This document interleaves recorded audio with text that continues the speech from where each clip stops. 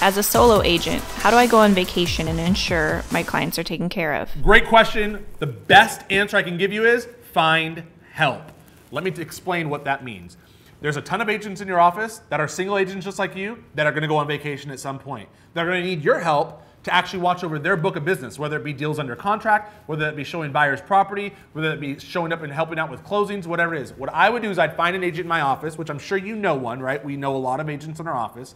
Matter of fact, guess what? Go to your broker. Your broker may know somebody that could help out. Your broker can also help out as well, because guess what? It's in their best interest to help you out while you're on vacation because guess what? If something closes, they get paid as well. So whether it's your agent or a broker, maybe even the front desk person, it depends on your needs and how many deals you have going. If you've got like a ton of deals and you're like you're cranking things out left and right, it's gonna be tough to find that help unless you pay them. Maybe it's uh, hey, if this closes, this buyer, I'm gonna give a referral fee, or hey, if this closes, I mean, you might have to pay them a fee. And I, I'm telling you right now, it's gonna be worth it because when you're gone, you don't want those buyers to look elsewhere. You want to make sure that you you are ready to represent that buyer if they find the house tomorrow when you're gone. I mean, to me, it's all about setting up certain parameters with people in your office where things happen when you're gone, right? If, if I have a buyer that calls, it's going to Sally. If I have a property that's fallen out of contract, guess what? I'm going to have my transaction coordinator help out. I mean, you're going to have to get help or you're going to lose business. And I promise you, what I will give you as a piece of advice: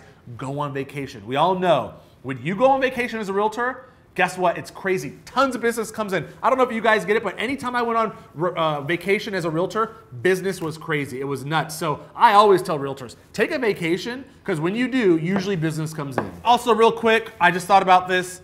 Make sure your clients are aware, right? I introduced my clients. I'd say, hey, let's go out grab a cocktail, appetizers, dinner. If it's a high price client, I want you to introduce you to so and so. They're gonna be helping me, watching over my book. I'm still gonna be knowing what's going on. I know I'm on vacation, but I'm still gonna be checking things out. But she's or he's going to help me out during this process, whether it help you buy or whether it help you with showings or listings, whatever.